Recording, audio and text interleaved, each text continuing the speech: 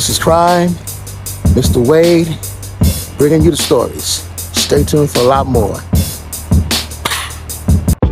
Today's unfortunate story is about a Samuel Burrell Kinison, known as Sam Kinison. Born December 8th, 1953, died April 10th, 1992. He was an American stand-up comedian actor, a former Pentecostal preacher. He performed stand-up routines that were characterized by intense, sudden tirades, punctuated with distinctive screams, similar to charismatic preachers. Samuel Burrell Kinison was born in Yakima, Washington on December 8, 1953 the son of Marie Florence and Samuel Earl Kinison, a Pentecostal preacher. The family moved to East Peoria, Illinois when Kinison was just three months old. At the age of three, Kinison was hit by a truck, which left him brain damage. His father pastored several churches around the country, receiving little income. Kinison had two older brothers, Richard and Bill, and a younger brother, Kevin. His parents divorced when Kinison was 11, after which his brother Bill went to live with his father, while Kinison stayed with the rest of the family against his protesters.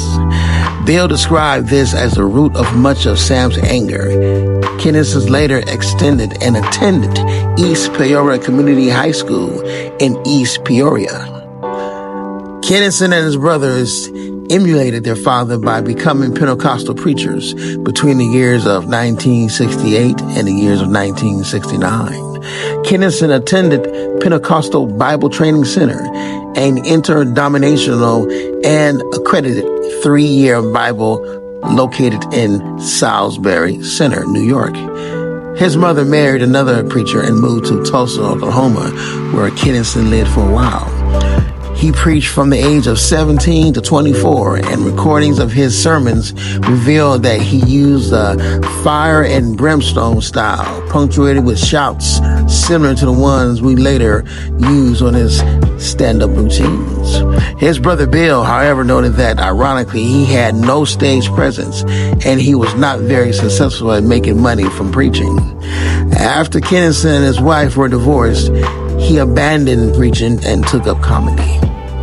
Kinison began his career in Houston, Texas, where he performed in small clubs. He became a member of the comedic group at the comedy workshop known as the Texas Outlaw Comics that included Bill Hicks and Ron Shock, Riley Barber, Steve Epstein, Andy Huggins, John Farneti, and Jimmy Pineapple. Hicks cited Kinison as a major influence on his comedic style, no- noting that he was the first guy I ever saw to go on stage and not in any way ask the audience to like him. In the year of 1980, Kinison moved to Los Angeles hoping to find work at the comedy store, but was first employed as a doorman. He soon developed a cocaine and alcoholic addiction, quickly progressing to freebasing cocaine, and struggled to gain a foothold in the business until his brother Bill moved to Los Angeles to help manage his career. Kinison's big break came when HBO's Rodney Dangerfield's ninth annual Young Comedian Special in August, the year of 1985. Sam Kinison, Mr. Kinison specializes in a grotesque animalistic howl that might be described as the primal scream of the married man. Kinison would later appear in Rodney Dangerfield's Back to School in the year of 1986. Howard Stern purchased the film rights to Kinison's biography written by Kinison's brother at one point in the year of 2008, reporting that HBO would make Brother Sam with Kinison being played by Dan Fogler. In an interview with Sam's brother and manager Bill Kinison, Bill mentioned him in film deals that were in development at the time of his death. One such deal was a film with Arnold Schwarzenegger and another with Rick Moranis. In the year of 1988, his youngest brother, Kevin, shot himself at the age of 28 with Devastated Sam. Kinison acquired much of his material from his two first marriages to Patricia Atkins, 1975 to the year of 1980, and Terry Marze from the year of 1981 to the year of 1989. He began a relationship with dancer Malika Souiri toward the end of his marriage with Marze in the year of 1990. Souiri alleged she was raped by a man Kinison had hired as a bodyguard while Kinison was asleep in his house. The bodyguard stated that the sex was consensual.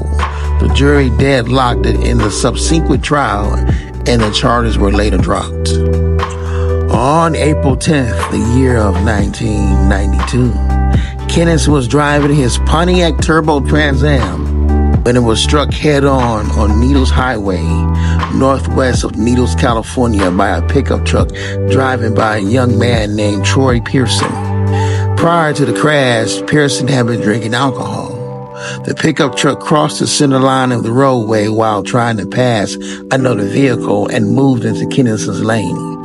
Kinison and his wife were on their way to Laughlin, Nevada to perform at a sold out show at the Riverside Casino. After the crash, Kinison appeared stable with one minor visible facial wounds. He got out of his vehicle and sat down on the side of the road, where he soon died from internal injuries. His head smashed the windshield as he was not wearing his seatbelt. He was 38 years old. His wife got a concussion in the collision, but later recovered after being taken directly to a hospital in Needles for treatment. An autopsy found that Kinison sustained multiple traumatic injuries, including a dislocation in the cervical spine, a torn aorta, and torn blood vessels in his abdominal cavity, which resulted in his death within a few minutes of the crash. Kinison reportedly said to no one in particular, as his last words stated, Why now? Then he paused, asked, But why? And after another pause, said, Okay, okay, okay. A friend who was with him at the time later recalled whatever voice was talking to him gave him the right answer and he just relaxed with it. Pearson pled guilty to one count of vehicle manslaughter with gross negligence he was sentenced to one year probation and 300 hours of community service. Pearson also had his driver license suspended for two years in connection with the collision. On April 15th, year of 1992, at Forest Lawn Memorial Park in Burbank, California, a funeral service was held for Kinison's body was buried in a family grave plot of Memorial Park Cemetery in Tulsa, Oklahoma. His gravestone is inscribed. In another time and place, he would have been called a prophet.